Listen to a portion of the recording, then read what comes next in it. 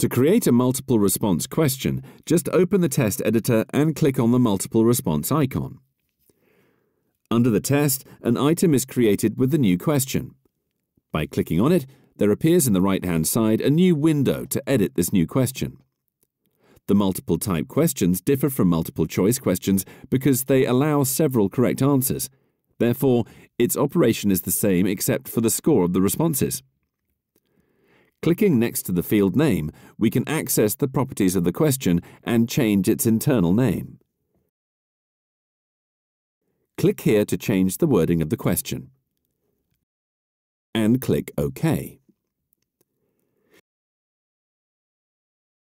In the Answers section, click on the Add Answer icon to add as many options as we need.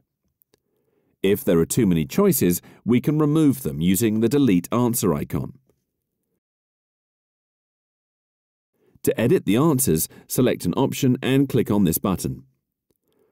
We enter the text and accept. Do the same with all the options. Using these options, we can change the order of the answers or access the properties of the text of the answers. We can mark an answer as critical if it's necessary to answer it correctly to pass the question. Similarly, we mark a question as critical if it is necessary to answer it correctly to pass the test, regardless of the total score. We can enter a message that will appear as feedback, giving a different message depending on whether the answer to the question is correct or incorrect.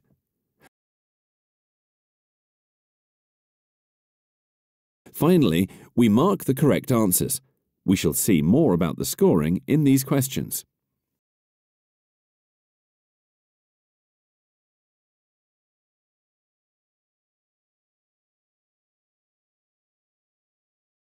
There are two ways to define the score on the multiple response questions. The first one is about giving a score to both right and wrong answers, although these are negative. That is to say that we mark 1 in the ponderation column for all the right answers and minus 1 for all the wrong answers.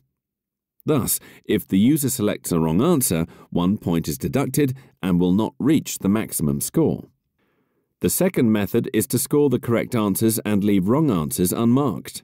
That is to say that we mark 1 in the ponderation column only for correct answers, while in the unselected ponderation column we enter the value 1 for incorrect answers.